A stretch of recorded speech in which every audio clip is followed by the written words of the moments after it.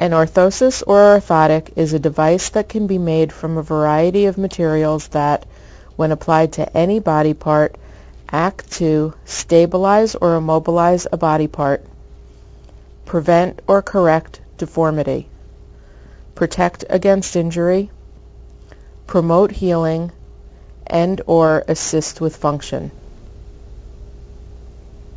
A splint is a type of orthotic that can be made from a variety of materials, including wood, aluminum, and thermoplastics. A splint can be applied to any body part and is used to partially or totally immobilize a body part in order to restore function. In human medicine, splints are often made using low-temperature thermoplastics. Low-temperature thermoplastics, or LTT, are rubber or plastic materials that soften when heated in warm water,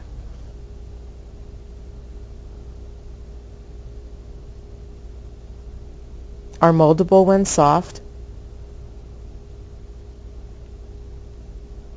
harden when cooled, and once cool, retain the molded, hardened shape. There are several splinting applications commonly used in veterinary medicine. Splinting can be used to immobilize a limb and or a joint after surgery, stabilize elbow or shoulder joints following subluxations or luxations, stabilize carpal or tarsal joints following subluxations or luxations,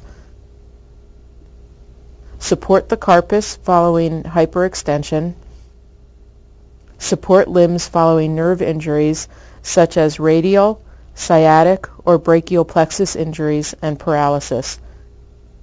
Correct limb deformities.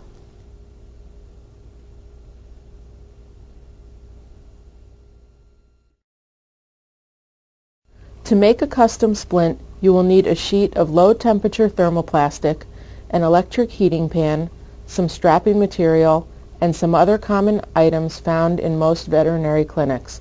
A heat gun is also helpful for spot heating and molding, but is not required. Low-temperature thermoplastics vary in flexibility, drapability, rigidity, memory, and texture. Also, they come in a variety of thicknesses and colors. Some thermoplastics are perforated to allow airflow and breathability. Perforated thermoplastics are also lighter in weight.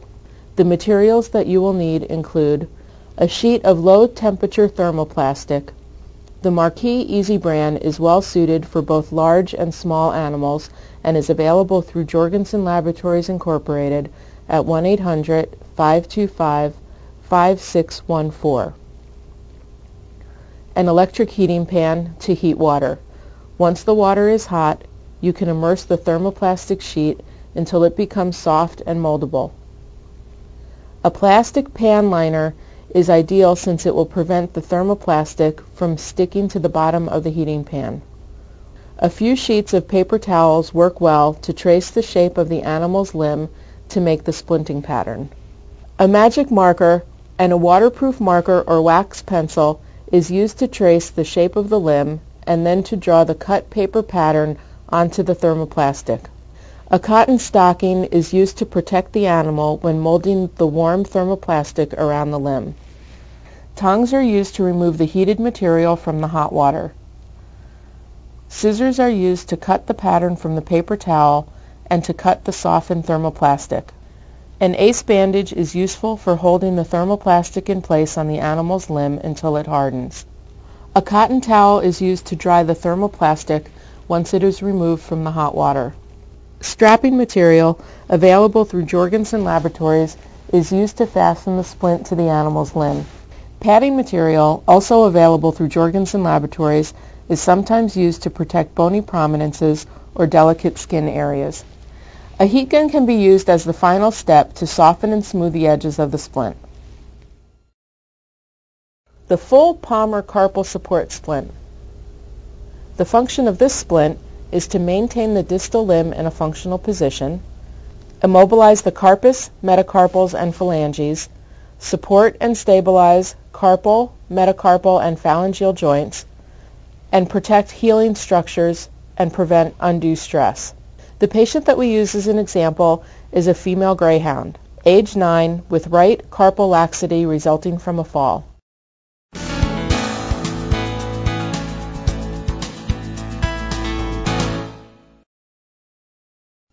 The pattern is most easily made when the animal is lying down. Place a few sheets of paper towel under the animal's limb. With the magic marker, trace the shape of the limb.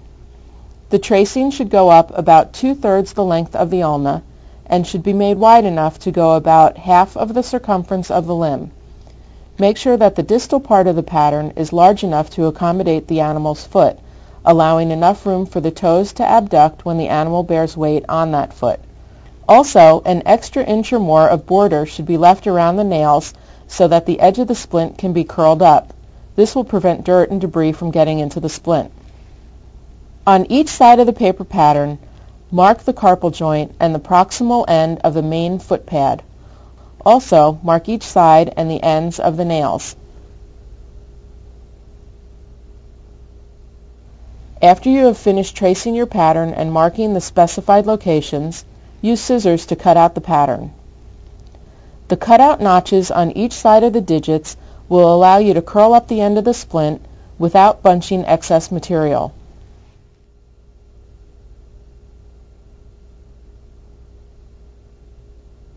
Cut out a notch at each of the marked locations so that the thermoplastic material can be molded around the angles of the limb without bunching. After you have cut out the pattern, check it against the animal's limb to ensure that the length, width, and angle notches are correct. Make sure that the distal part of the pattern is large enough to accommodate the animal's foot. Using a waterproof marker or wax pencil, trace the pattern onto the thermoplastic sheet. Preheat the electric heating pan with about 2 inches of water. Bring the water to just under the boiling point, about 200 degrees. Place the thermoplastic material into the hot water. Using tongs, frequently check the pliability of the material and remove it when soft. Softening should take about 1 to 3 minutes. Place the material flat on a cotton towel and pat dry if necessary. Make sure that you don't fold the material since the softened material can stick to itself. When the material is soft, use scissors to cut out the rough pattern. While cutting, allow the bulk of the material to rest on the towel to prevent the material from stretching and losing its shape. If the material becomes rigid, reheat part or all of the material in the water as needed to resoften it. Cut the final pattern from the freshly softened material. At this point, it is a good idea to round all of the corners of the splint to prevent potential irritation of the animal's skin.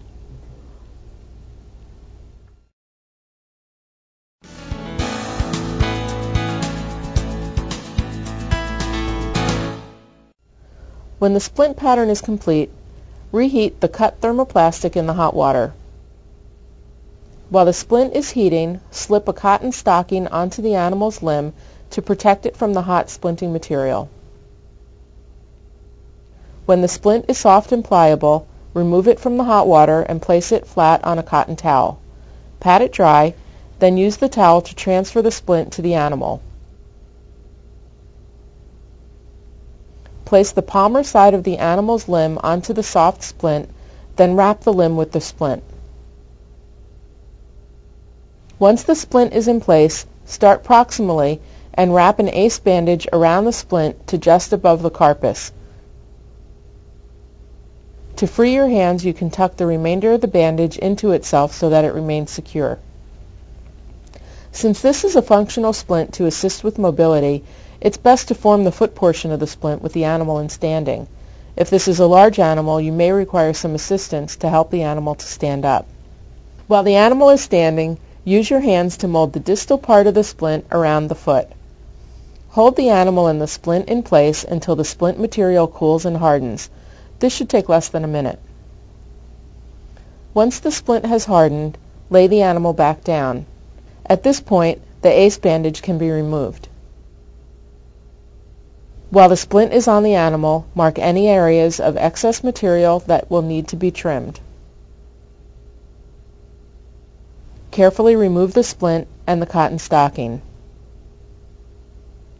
As you can see, the splint has retained its shape. The splint draped smoothly over the animal's limb and contoured to its shape, thereby limiting pressure areas.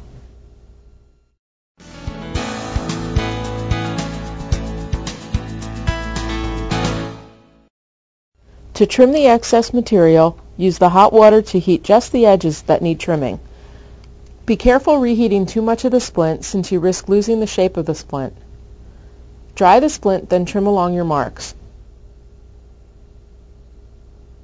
Also, you can heat the edges of the top of the splint so you can round the corners and get rid of any sharp ends.